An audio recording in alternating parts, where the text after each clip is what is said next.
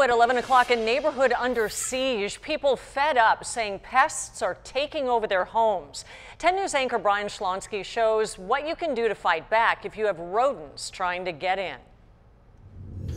Yeah, County Vector Control tells me some of these animals hardly need any room at all to get inside your home. Rats, for example, only need the space about the size of a quarter. And mice, well, even smaller than that. What you doing? What you doing up there? In Pacific Beach, We got us a new pet. the new pets, or pests as some call them, Gross. yeah, we see them quite a bit uh, places they shouldn't be. seem to be popping up a lot lately. I actually saw a family of raccoons just walking across the lawn. In yards, on trees, Actually, a ton of them around PB that I'd be driving by, they're crossing down the street. Or worst of all, Yeah, we do have a rat problem here. I actually have seen a few dead ones. inside homes. A uh, bunch of rats, mice, roaches, um, possums, raccoons. For Dustin Nieder, it's not just the diseases they can carry that worry him. Well, they killed our monitor lizard, I think.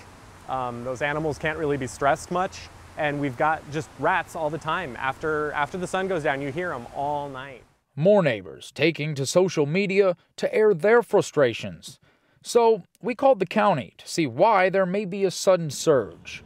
Ecologists with vector control say it's hard to pinpoint one thing, but wouldn't be surprised if winter rains enhanced conditions. It could be because uh, the trash, maybe. Trash, which can be spotted in almost any alley you look, gives animals more availability to shelter and water.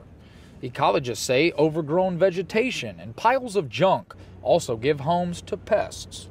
Nieder has another theory. People are coming in, buying the homes, and flipping them, and they're tearing them down.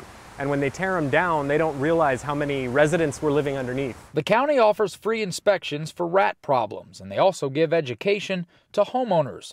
But pest control, that's up to you.